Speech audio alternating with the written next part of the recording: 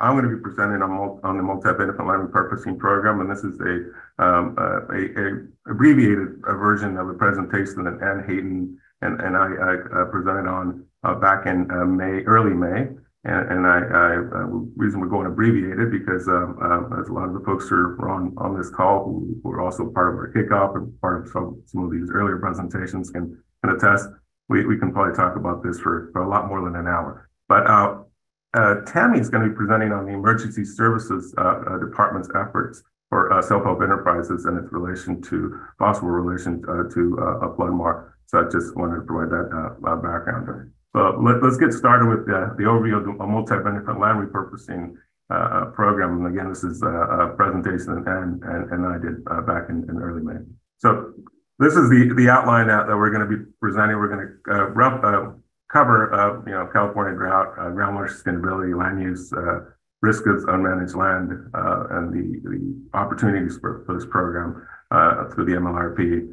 our role as a state support entity, EDF, uh, Environmental Defense Fund, and um, Self-Help Enterprises are the co-chairs and our priorities moving forward. And then hopefully we'll have some time to answer and, and respond to questions. And I invite folks on this call uh, and uh, Anna and also uh, Kylie, I believe we're also on this call. Feel free to jump in at, at that point if you have any comments, questions, or concerns.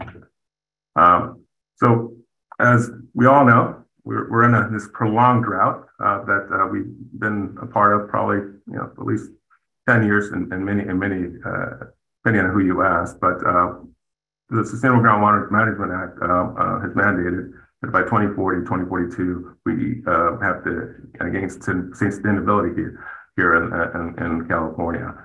And uh, that means that um, um, to you know counter the effects of, of a lot of uh, of this overdraft that we've been having over these many many years, and uh, uh, we're in the process of doing that. As a result of that, we we have to make some pretty hard choices. And uh, one of those hard choices is going to be land retirement, land fallowing, or land repurposing or, or, finding other opportunities for, for, for, for land in the valley as um, the impact of, of, of this uh, effort of reducing uh, the, the use of irrigated lands is likely going to result between 20 and 20, uh, 15 and 20 percent reduction in irrigated farmlands of, of the valley by 2040.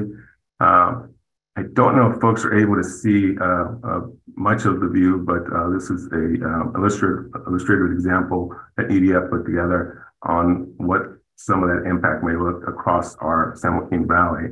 And as you can see, um, this is what an uncoordinated approach would look like. Next slide.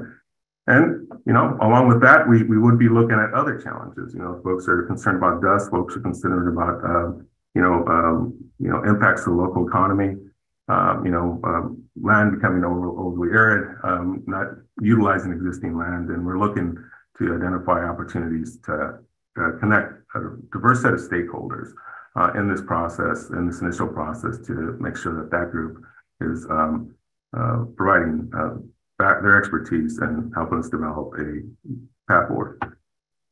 So what are, what are these opportunities and these, these, these alternative plans uh, in the multi-benefit land repurposing? Well, here, here they are, uh, going from irrigated crops uh, and, and some of these areas are supposed to be uh, repurposed to grazing, solar, dryland crops. And these are not inclusive of all the upper possible opportunities, which is why we're involved in the separate parks, recharge, habitat restoration, and amongst, amongst other opportunities.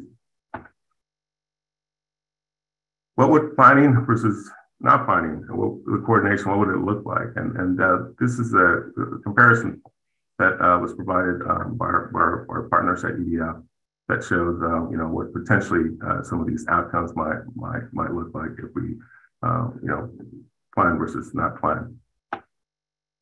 And this is an extension of, of a lot of the work that EDF and uh, uh, Vicky uh, Ortiz, uh, uh, Dr. excuse me, Vicky Espinosa, Dr. Vicky Espinosa, who um, was doing a lot of um, um coordination with EDF early on to advance this effort um, and um, early on. and this is a, a strategic land repurposing coordination uh, input and guide that they provided, uh, which is um, should be available um, um, through online. Um, as you know, this is an effort that's drawing a lot of excitement. A lot of folks are really excited about this process, and we and and as REDF and, and self help, and uh, we rarely get this type of uh, collaboration. And this is just to illustrate uh, the, the level uh, of collaboration that folks are, uh, you know, at least interest at the interest level are involved in and uh, are, are wanting to participate in this very exciting opportunity of, of, of, moving towards sustainability by looking at alternative uses to some of the land that's supposed to be retired, fallow, you know, opportunity to for. So what are the goals? Well, top of the line, uh, top of the list is, is groundwater sustainability. Uh, you know, we're looking to move land from more intensive water use to less intensive water use. Um, and we're also looking to, uh, uh you know, look for opportunities where, you know, maintaining natural resources uh, might, might be an option. Um, providing short to medium term long drought, drought relief where, where, where, recharge opportunities are, are, are, are, an option and sustaining um, uh, the local land-based economies, particularly here in the valley, which uh, depends heavily uh, in many of the communities that uh, self-help serves uh, uh, on on agriculture to, to for um, for economic purposes and to, for a lot of our folks to make a living. So that's a one of the reasons we were very much interested in, in entering into the discussion. We wanted to know what these opportunities would be. restoration of wild habitat, particularly if there's opportunities to to benefit other communities in and around those areas, vulnerable communities, um, uh, and um, even possible local economy. And also reducing um, impacts on, on, on, the lives of, of folks and increasing the, the, availability of water for some of these folks that are already in overdrawn uh, recharge area, areas. And we're really wanting to be very inclusive of all stakeholders, but particularly stakeholders that have been underrepresented in the past, you know, uh, vulnerable communities, uh, uh, disadvantaged communities, underrepresented uh, et cetera. So that's uh, one of the uh, one of the things, one of some of the goals that we're we're hoping this program will accomplish. So what does this program look like? Well, there's going to be block grants of up to $10 million. Uh, there's going to be funding for tribes. The establishment of state support entity, which EDF and Self-Help Enterprises co-chair. Co co and it's going to require uh, an inclusive approach. And uh, that was very evident at our kickoff meeting where we invited all the block grantees and uh, uh from across the state. And uh, uh, there's a whole lot of excitement, but there was also a very diverse set of groups that are getting together from the ag community, from districts, from environmental interests, from academia, from uh, NGOs and, and from and from the community directly from the communities. And this is something that um, uh, rarely happens in, in any effort. And this is why uh, we're particularly excited uh, uh, that uh, this process is evolving in a very inclusive way. And we want to con- contribute to you know, increasing that, that inclusivity and, and, engagement. And, and, and that's going to be one of the top priorities for this effort. Obviously, we want to uh, uh, develop projects that are multi-beneficial, uh, and we want to make sure that we're providing educational uh, and planning and uh, project development and community support. Uh, the minimum benefit of these projects would have would be 10 years, but obviously we're looking for projects that have a permanent benefit associated with them, um, at least at this point. So what does the structure look like? The, uh, the uh, multi-benefit land repurposing structure um, well, is funded through um, the DOC, Department of Conservation. Uh, regional block grants are, are awarded, uh, which are uh, uh, funding for tribes awarded, and the state support entity provides coordination among the block grantees, the communications and capacity building, monitoring, and um, those are some of the deliverables that will fall under the state support entity. Um, and the idea is to come up with these plans at the community block grant level through the process of inclusivity and, and, and process. And my apologies if apparently my, my the, the light in the room where I'm actually in to point out, so I'll, I'll try to get that back shortly. So what would be the uh, SSE, the state support entity's role? Well, we're going to provide coordination, collaboration amongst the block grantees, uh, we're developing a peer learning network. Uh, uh, we feel that uh, folks, as they're implementing and, and uh, advancing these, these, these, programs and these great wonderful opportunities, that they will be um, you know, at the cutting edge. I mean, they will be the, the in many ways the experts, and we want them to uh, we want the block grantees to be able to compare notes uh, in, in, a way and be able to collaborate with each other and be able to uh, you know identify best practices and, and, coordination.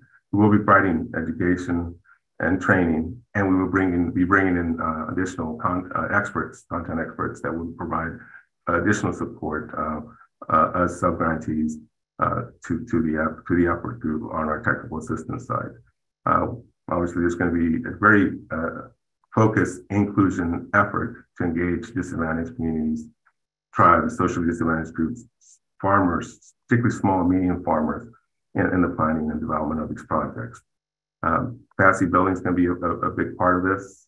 We want this to be a successful effort, and we're uh, we want to make sure that uh, all the resources that are reasonably available for us to provide uh, through DOC's uh, funding uh, will be available to the block grantees. Um, and there's going to be obviously monitoring and outcome reporting as part of these, these efforts. This is a, a diagram of what that structure would look like. As you can see, it's uh, flexible. Uh, uh, it looks a little bit like an octopus, but uh, um, state support entity working directly with DOC We'll have an advisory committee that would, uh, would provide us uh, um, additional direction with DOC. Uh, we will have implementation partners, which could be content experts that will provide more technical assistance uh, uh, as needed and as we identify that to the regional block grantees. And we will be providing direct support also to, to the block grantees as we move forward through, this uh, three-year project. Effort. So in summary, it's getting hotter, it's getting drier, climate change is real. Uh, and uh, we're having to make some pretty tough, tough choices. Uh, uh without um, you strategic intervention, uh, you know, we will be having to make even tougher choices down the road. Uh, this is a wonderful opportunity for us to identify genuine, inclusive, and grassroots, you know, developed opportunities for multi-benefit land repurposing options for, for, for, for much of our, our, our communities, particularly those that are mostly uh, uh most directly affected, which uh, three of the block grantees were in the valley. Uh, the other block grantee was, was located in, in on the Monterey, on central uh, coast on, on Monterey uh, Uh, County, and uh, we're, we're, we're, hoping to be able to provide uh, genuine opportunities to landowners to create multi-benefit projects that will benefit, will have regional benefit to obviously rural communities, ecosystems and uh, our, our, underground uh, groundwater aquifers. So inclusivity is important, regional coordination with stakeholders, engagement, and obviously buy-in. Uh, these opportunities have to be genuine. They have to be organic. They have to be uh, developed uh, by the stakeholders in a way that, that makes sense and uh, that is ultimately beneficial to the, to the folks involved and it has to be incentivized. And hopefully, this will lead to additional efforts that would uh, keep moving us in this direction, which I hope is toward uh, a path uh, for sustainability for groundwater resources. And uh, that was the that was my that was the the end of the presentation. Uh, we can have questions here, or we can wait. Uh, have questions after um, Tami presents it. It really depends on, on you as the moderator. Okay, yeah, thanks, Eddie. I think we'll hold questions until after Tami's also talked. So if you uh, have questions for Eddie and you want to jot them down in your notes while Eddie stands up to remind the room that he's there, and we'll turn over to Tammy. So my name is Tami McVay, as you guys heard earlier, and I am the Director of Emergency Services. Um, really, we kind of were established by um, the drought back in 2014, um, or the beginning of the drought, actually, as some people want to refer to it. And we had lots of um, residents calling us and counties calling us because they know us as a developer. Um, we're a nationally recognized developer and we build low income housing. So they said, hey, can you do something with these folks that are going dry? Um, at the time, our community development director and another staff member went to Harbor Freight and purchased some tanks and some PVC and created a tank, an emergency tank system, which we'll get to in a minute. Um, but we, the goal of self help is really to work collaboratively with um, our our communities. The goal of emergency services is really to work with the folks who have been impacted directly by disaster. So um, all of the emergency services team is trained in disaster response and recovery, as well as um, psychological first aid. So whenever we're dealing with folks who have been impacted by disaster, we have the skills to talk with them um, and find out what their real needs are. So self-help covers all of the San Joaquin Valley um, minus San Joaquin County. The only team right now covering San Joaquin County is our emergency services team, and that is because they really needed some assistance with some of the drought response. So hey, we went ahead. Tami, I'm just going to jump in here. I think um, if you're advancing the slides, we can't see that. Oh no. Okay. Oh, I Here. see they're coming through now. They're moving very slowly. I am so sorry. I know we're having issues. Okay, they're With- through now. They're Okay. through now. We can see this. Okay, go ahead and Sorry Continue. about that, everyone. Um, so hopefully it stays up to pace with you um, or with us. So we added in the San Joaquin Valley or San Joaquin County, and we've been working there since July. Um, we are not going to expand any further though. So let me see. I'm sorry, my slide. Or is it moving for you guys now? Because it's not moving on my side. we see the background slide now. Okay. Um, so our background is, you know, we work with low income families to develop um, housing. And then we also come in with our emergency services and water work. Um, one of the things that we noticed is as we saw the water tables continue to decrease and decline, um, we were drilling wells and we were drilling a lot deeper and we were really concerned with what the water quality was going to be for those wells. Um, so through funds from the state water board and SAFER we were able to um, put together a water quality program which i'll go into in a, in a minute but some of our other work is um, we engage with folks who have been impacted by drought fire flood extreme heat earthquake and we also do covid education um, so we have a pretty big area that we work in um, but our our main area is water sustainability and water quality. So when folks are impacted by the drought, um, we go out and that's a tank, a picture of a tank right behind um, the the lady and the gentleman, and that's the tank that we install and we connect it to the home and we have water hauled to that tank weekly or biweekly depending on the household size. Um, then we also have associated bottled water that goes along with that. So the tank water is only for um, sanitary purposes and then the bottled water is for drinking and cooking. And in addition to that we we roll them into the water well program. So we find out if either they're near a connection or near a main so we can connect them or we replace their well where we have to. Sometimes we can repair the wells depending on um, the the quality of it. So then once we repair the well, we do water quality testing. Um, our funding comes directly from State Water Resource Control Board under the SAFER division, and that is the only funding we currently receive for the work that we're doing. Um, our current workload, and I apologize that this is so light, um, we have reported over 4,100 dry wells to the um, dry well my, my dry well tool, and we are happy to be working side by side with DWR and the GAMA folks on improving that system, um, making it a lot more easier to be able for us and DWR to pull those reports.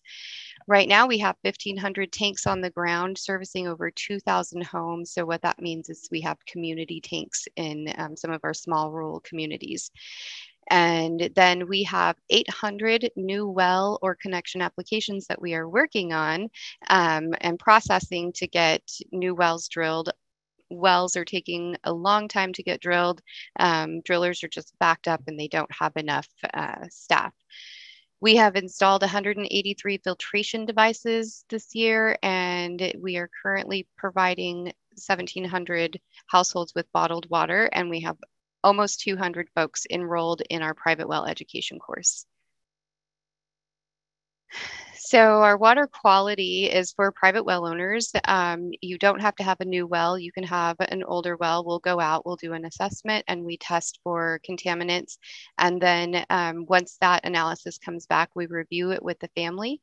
And if there is any type of um, contamination, then we'll work with the family and our, our local vendors to find out what the best um, filtration devices, be it a POU or a POE, um, for those of you that don't know, POU is point of use and POE is point of entry. And this is what a day in the life of um, our water quality team looks like. People will call in, they'll say that they're, you know, they're well owner, they think something's wrong with their well, they think they have contamination. And so this is just kind of a flow chart of how it moves from one group to the next um, of staff so we can provide the information to the residents um, with the appropriate associated document. So if they have contamination. Um, these are the constituents that we test for. So arsenic, nitrates, 123, TCP, coliform lead, perchlorate, EDB, E. coli, copper, DBCP, chromium, uranium, and then along the Sierra Nevadas, we test for gross alphas.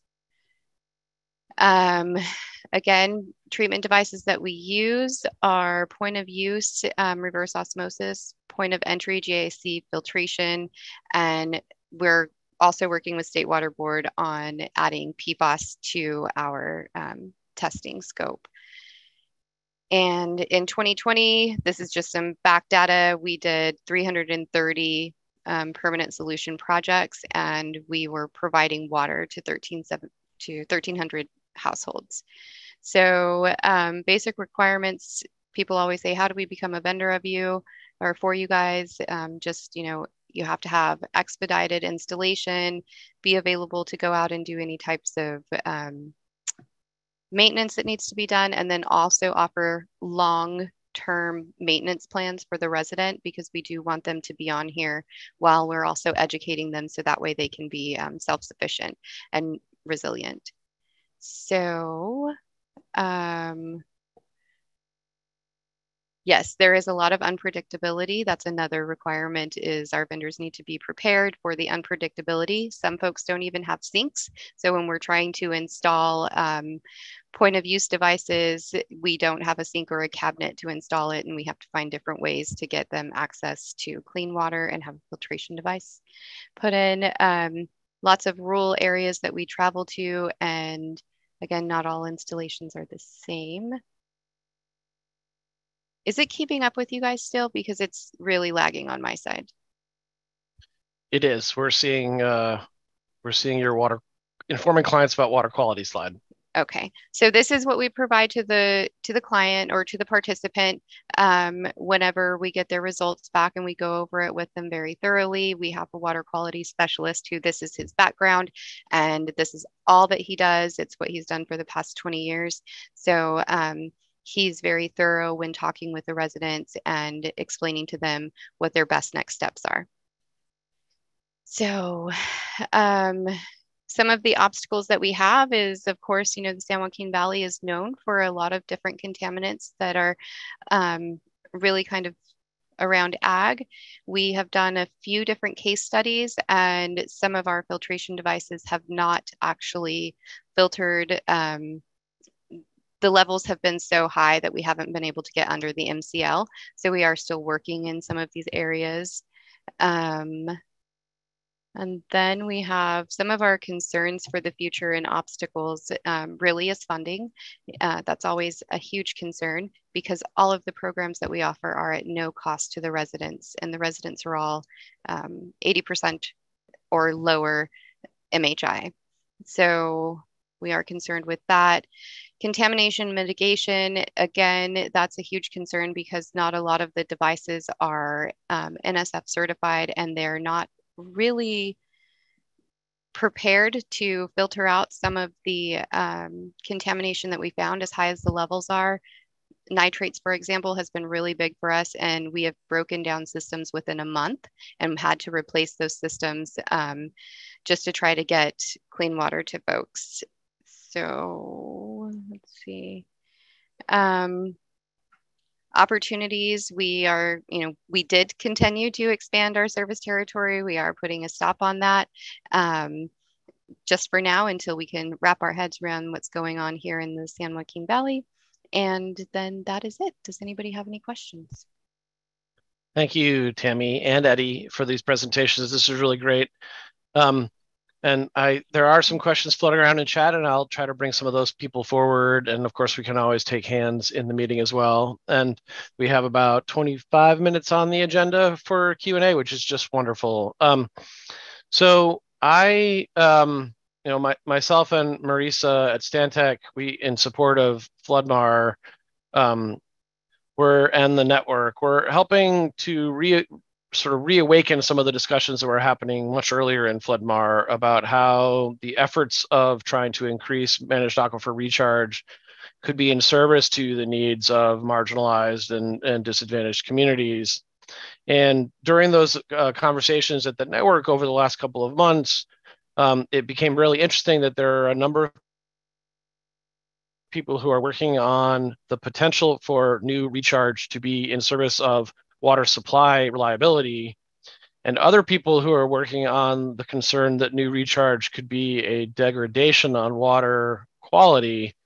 And so that the that of course the devil is the details on these projects about recharge on whether on how to properly manage them such that they are bringing a benefit and not bringing an additional burden. And Eddie, I saw recharge was one of the things that that land repurposing is thinking about. I'm wondering if you have, um, and I know you were going surface level for your presentation. I'm curious on the recharge space if you have more depth that's being talked about in the in the conservation effort.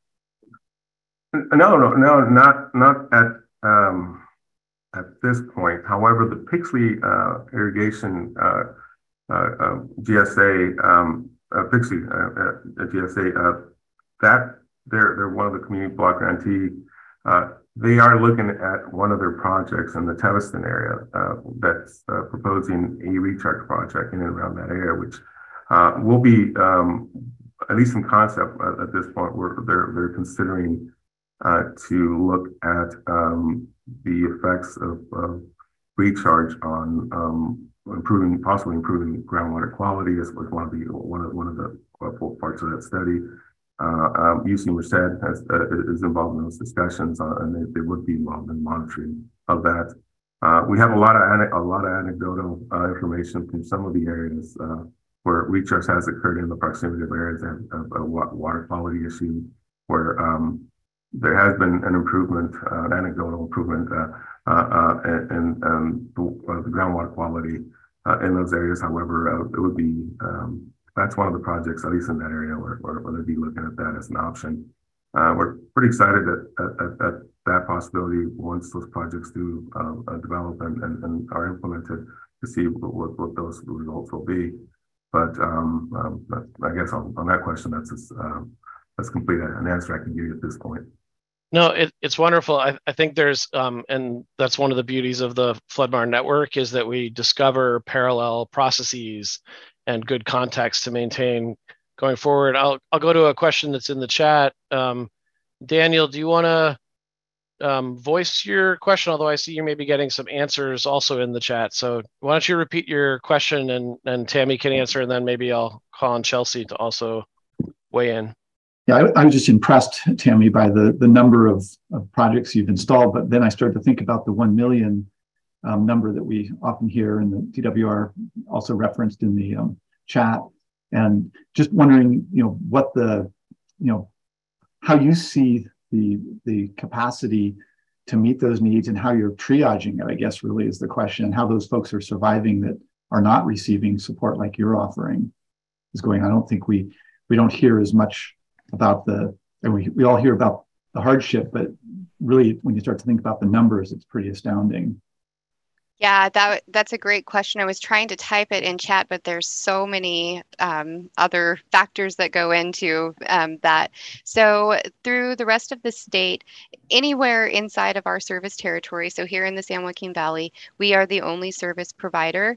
Um, so we we do stay pretty busy, but we have a, a, hefty team that can handle that lift. But throughout the rest of the state, what we've been doing is working with the State Water Resource Control Board to provide um, technical assistance to counties and other nonprofits to help capacity building. So that way they can apply for the funding. Um, the management and admin team here goes in and does one on one training with those counties if they decide to apply for the funding. So, all the way from the application proposal to the implementation of the program, and then we're available for them after the fact. Um, unfortunately, because it does take so many people to be able to pull off the work that we do. A lot of counties have kind of, you know, stayed away from applying for the funds. Um, so we've seen, or DWR is coming in with their program, which I think is going to be super helpful as well um, for for households and counties.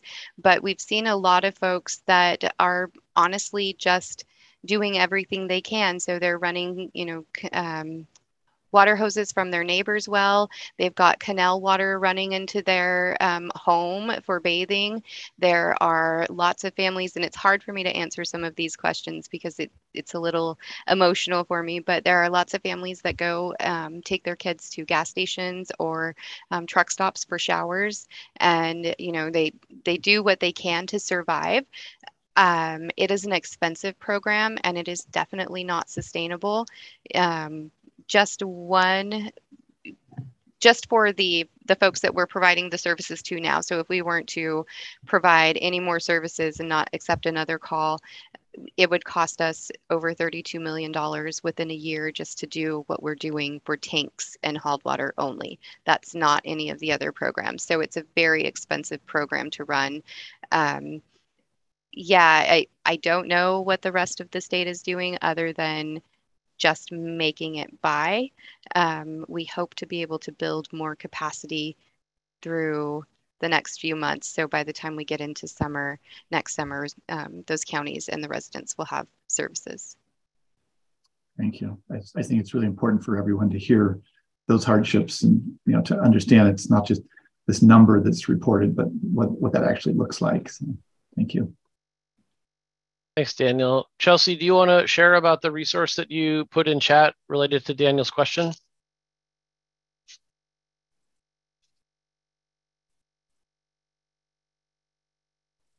I might have caught Chelsea off guard. That's okay. Chelsea in chat was talking about the State Water Resources Control Board has a portal, and there's a link there um, related to the um, the water systems that have been judged failing or at risk inside the SAFER program. And I saw a question come into chat just in front of a hand go up from Aisha. So let's go to Julian. Julian, do you want to ask your question out loud or should you prefer me to read it? Hi, no, I can. Um, go ahead. Question for those folks, um, DOC dealing with multi-benefit land repurposing. Um, about the SB 170 stipulation in that uh, GSA cannot account for, or, or I'm sorry, I have to go back and read this. Uh, any any groundwater achieved through these strategies and projects must be subtracted from any calculation by the Groundwater Sustainability Agency from the groundwater available for extraction by water users. Um, can you explain how we can go about doing recharge with this happening and, and still having users pull water out of the ground? So this language was in the first appropriation as well and was added by the legislature um, originally, and then it carried over kind of automatically. Um, it's it's challenging. So, kind of first off, the program is is um, and it's not it's not the only program that's putting funding towards recharge. So DWR has quite a bit of money that's dedicated to larger kind of deliberate recharge project implementation. Um, our program can, regardless of this language, um, fund all of the outreach planning and all the way up until shovel readiness of a project to do groundwater recharge. Um, there is a question, and we're going to have to look at this on a project by project basis of whether, you know, a described groundwater recharge project like if this causes a problem for implementation. And um, one of the beauties of the program is that we have really, really close partnership with DWR and this um, state water board. And um, you know, I think the the simple the simple thinking right now is yeah, it's going to be problematic for a large like deliberate like a water bank type recharge scenario where you're you know putting rights with water with rights attached in the ground for use later. I think it becomes a little bit more gray area when you're talking like passive water, you know, Flood-MAR type systems where you're where you're storing water a little more passively and like some of those are flood flows, but I mean I mean all of those have rights attached to. So um ultimately it is it's going to take some some some judgment calls from the board and it's going to be done in a collaborative way through the program but up until implementation we can fund all of those costs. So i don't think we're in a, a really bad place. If it's just you know cap like trying to capture water more water you know on lands from um, water that has no owner like we're in the clear you know it's not and and the original intent of this language was was you know we they didn't want a landowner who got let's say money from the state to do habitat on their lands to just sell the water rights out from underneath. Like the the saved water from that habitat use versus the irrigated use they didn't want them to sell that water underneath the property and like leave the state without that groundwater sustainability benefit and it's kind of it's a shame we haven't been able to move the language more towards like broader sustainability language but we just haven't. It had didn't get there in this legislative session. So great, thank you. Appreciate it. Yeah. As as we as we meant, most of us have learned there's um, depth of complexity on all sorts of angles related to Flood-MAR and the policies that are supporting its kinds of projects. And what's great about this network is that you, every time you learn a little bit more about something that someone else knows a rich depth about, right? So I really appreciate the question, Stephen. Thank you. Aisha, why don't you go ahead?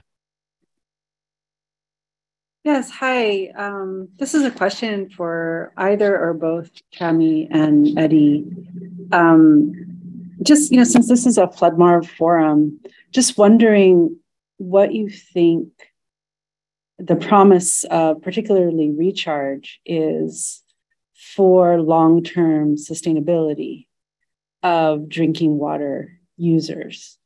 Um, you know, both, you know, you kind of talked about it a little bit before. Um, but do, do you think it's useful? Do you think it's something that could help long term sustainability? Are you focused more on just getting connected to you know, nearby water systems, or do you think it just is a case by case basis? Just wondering your, your thoughts on the promise or risk of recharge.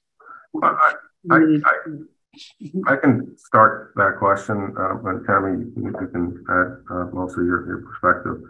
I, you know, I, I started in community development department, and and, and we, um, I, I do believe the consolidation is probably going to be uh, the answer for a lot of these, um, uh, where where that's an option for. I mean, that would be preferred uh, option, uh, uh, consolidating um, um, these communities or, or, or uh, individuals who have the option to consolidate are within reasonable. I think that's the you know the, the, the best option available. However, um, for um, areas that are overdrafted, if, if there is an opportunity to move water to those areas, I, I do think that recharge can, potentially benefit, have regional benefits to, to those areas. And, and uh, you know, obviously, there's there's a whole lot of data that, that needs to you know come together, uh, and um, uh, you know, we need to know geology. We to know if there's some contaminants available in those recharge areas. We uh, there's a there's a lot of lot of things to consider. But but I do feel that there is an opportunity to benefit, particularly uh, areas in and around uh, aquifers that are already overdrafted and, and and communities that may not necessarily have the opportunity to um, uh, connect to uh, an adjacent uh, viable system. Um, so potential is there, but it's going to be on a case by case basis. Um, and Tami, I don't know if you want to add, add anything to that. Um, no, I think you you did a great job answering it. You know, as far as we are concerned on the emergency services side, um, our our focus is much greater than water, and we have been we are the doom and gloom. I feel like we're, you know, we're worse than the weather guys because the weather guys always come on before us and then we go on after and we talk about what's actually happening, boots on the ground. Um, so we have we have a lot of concerns about the sustainability of the valley just in general, um, not just around water, but water has a huge um, part in it. And I, I'm hopeful. So I'll answer it that way. I'm hopeful that we will see something amazing happen, um, but we're also trying to be prepared for what it will look like if we don't get the results that we're hoping for. I hope that answers your question. Thanks, Tami. And I've been in many meetings with you, but I'm afraid I'm going to not get your name pronounced right. Keely?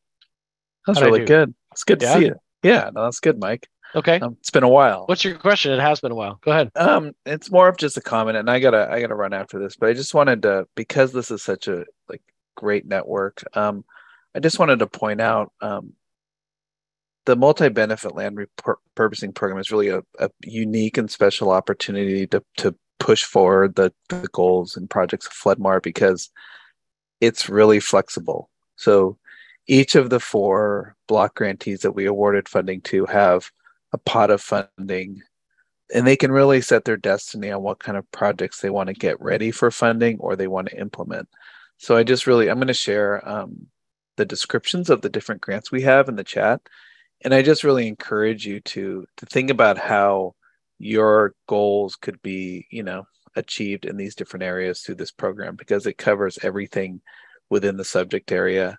Um, and then the other powerful piece, which I which I mentioned before, is that you know this program is really run by a like all of the agencies you'd want looking at your stuff to do this work. It's, it's DWR, U.S. Fish and Wildlife, DFW, all you know, like everybody, um, the water boards, food and ag, and and there is a very like committed responsibility to look at these projects and strategies to try to resource other funding to them from their different pots. There's so many pots of funding across all these departments. So um, pay attention to what people are planning, what they're proposing, and then try to use uh, use this opportunity to leverage, you know, what what we're all trying to achieve. Um, and then just flag for everybody that there is going to be another round of funding coming out. There was 40 million in this last budget um, for um, and around that we're probably going to push out at the end of the year and using largely the same guidelines as before. And then there's another 20 million identified in next year's budget that may go you know may change through those negotiations but at least we'll have 20 so more to come. And we kind of the last thing is we had really really strong applications that basically covered you know 90% of this, the the san joaquin valley the Salinas Valley and in the northern Sacramento Valley. So we have some really like high level partners wanting to join the program, and I think you'll start to see more and more projects and partner, you know, block grant partners lining up that can help us all. So that's it, and I'll share my I'll share the project summaries in the in the chat. Yeah, thank you for that. Um, I was I was kind of struck as I was watching Eddie on on your discussion um, how recharge is kind of one of the outputs. But I, I think recharge projects that were some of the recharge projects that we're discussing um, actually loop back to some of the other output goals as well about economic sustainability and jobs and, and things like that because all those recharge projects depending upon which kind it is require you know people to take care of them and maintain them and whatnot so there is some iteration that happens between the various output goals of the multi-benefit project, which is is nice to to think about because a Flood-MAR project might not be imagining itself as a workforce development strategy in a way that it could be. Um, so your the program really helps you start to think that way. Um, Kamiar, go ahead. Yeah, good afternoon, everyone, and, and thank you, Eddie and Tami. Great presentation. Uh, Eddie, you had one of your slides, early slides, uh, showed the different types of land repurposing strategies uh, that landowners could consider in uh, thinking about repurposing or converting part of their irrigated lands to other uses that would be uh, either less water intensive and or help groundwater recharge.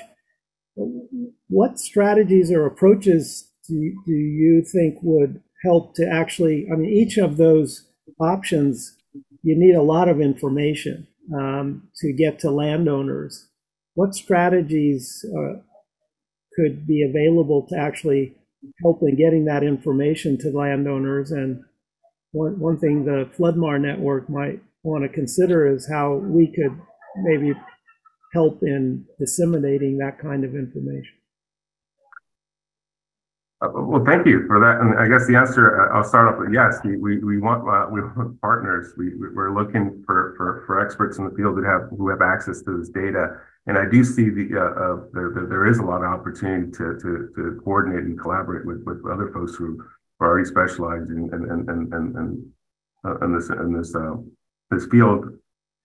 we um we will be con- subcontracting out to other groups, but we will be also reaching out to experts in the field. The, the idea is to make any relevant data uh, that uh, where there's an interest from the uh, the community block grantees uh, uh, available to the, to those groups uh, as long as funding is available to, to be able to do that. When these collaborative opportunities present themselves, particularly when we already have a group that's involved in this particular in this particular field, obviously that that that collaboration becomes a little bit easier to do. Uh, and uh, and we're, we're, we're going to be very welcoming of, of, of, of including uh, uh, this this type of resource uh, to, to, to block grantee for sure. Thank you, Eddie. So um, one question in the chat. I don't know if there's anybody on the call who could answer it, and maybe Graham himself is here. Um, there's a question from John Armstrong about any update from the Paleo Valley groundwater recharge science that Graham Fogg's been leading. Is anybody on the call who's associated with that effort? Okay, we will note it as something that is of interest to this group and make sure that that update's available the next time we get together. Are there any other questions for Camille? You still have your hand up. I think that's probably a figment. Yeah, sorry. Yeah, no problem. Are there other questions for Tami and Eddie? Eddie or Tami, do you have a question for any of us? I don't have a question, but I do have a request um, sure. of the, you know, next steps or what can we do um, really for for our side of it on the emergency services side is bringing awareness to how severe the the drought is, how real climate change is. You know, we are seeing so many things, um, especially here in the Central Valley, that we haven't ever seen before. Like, you know, I grew up in the San Joaquin Valley, and I was very used to having fog for three months straight and not being able to see out of my windshield. You know, and now my kids have to go to school in the morning because we don't have fog days. Um, they're super bummed when I tell them about the stories, but um, you know, taking that into consideration and being very serious, but also those of you that work in water, if you have friends that work in housing or, um, you know, just your professional contacts, um, having those conversations, very real conversations about the amount of development that it, the state of California needs in order to keep up with housing um, and how quickly it needs to be done. We're not even able to keep up with the infrastructure to get these services to the houses that are already there. So just, you know, considering all of that and just having those conversations, having them at the dinner table, having them with your friends while you're out maybe having a cocktail, whatever it is, but making sure that that awareness is out about how severe the conditions are, especially here for the San Joaquin Valley, is my one ask that everybody maybe take away from this. Thanks, Tami. That's a great reminder and, and an easy ask to carry out. So I don't think any of us have an excuse. And Eddie, how can the Flood-MAR network be of most help to the work that you lead at Self Help Enterprise? You know, um, uh, I was just going to jump on that one because you're asking, and you know, we're really good about asking for help. So, uh, uh, so this is this is this is a general call out. I mean, uh, obviously, data is going to be very important uh, to identify uh, a viable recharge area, particularly data that that provides contaminant information for areas that may be potential recharge candidates. I think Flood-MAR is front and center, and then and I do feel that there's this is there's some strong opportunity for collaboration with, with with this community and, and, and, this effort and other efforts like uh, like this that are going to involve recharge, particularly in and around areas that are already affected, they're already affected by contaminants. uh, uh, because we want to make sure that, uh, you know, and, and trying to resolve the water availability uh, issue that we're not, uh, you know, creating another issue for some of the communities, uh, particularly those vulnerable communities that are located in these affected areas. Thanks, Eddie. And to Tami and Eddie both, thank you so very much for your presentations today. Um, it's always great to have these kinds of discussions at LunchMAR, and we are glad we were able to get you scheduled today and you had time to give to the group. And I know the group is committed to giving back. So that's part of the, the give get philosophy of the Flood-MAR network. And thanks everyone for coming. We have another one, I think, scheduled for November. Marisa, do you have that date off the top of your head for everyone?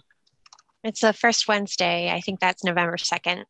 Okay. So we'll see you at the next LunchMAR or we'll see you out there managing water somewhere in the world. I appreciate everybody's time and uh, I hope you have a great rest of your week. Thank you.